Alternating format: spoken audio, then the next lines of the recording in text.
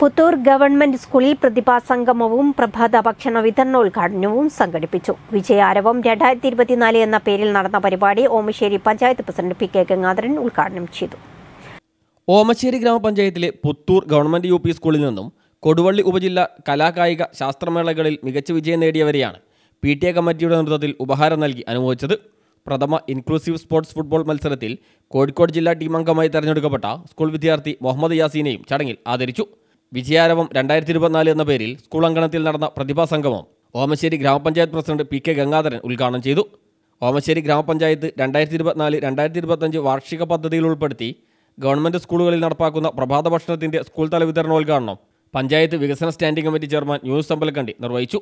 Rainbow news English online പതിപ്പ് കൊടുവള്ളി ഉപജില്ലാ വിദ്യാഭ്യാസ officer C P Abdul Khader പ്രകാശനം ചെയ്തു. ചടങ്ങിൽ P T A president Mansoor Parangottil അധ്യക്ഷനായി. ഗ്രാമപഞ്ചായത്ത് മുൻ പ്രസിഡന്റ് പി അബ്ദുൽ നാസർ പഞ്ചായത്ത് അംഗം Ibrahim Haji Parangottil school managing committee chairman P V Sadiq പ്രധാനാധ്യാപിക V Shahina staff secretary P K Deepa തുടങ്ങിയവർ സംസാരിച്ചു. News bureau Omassery.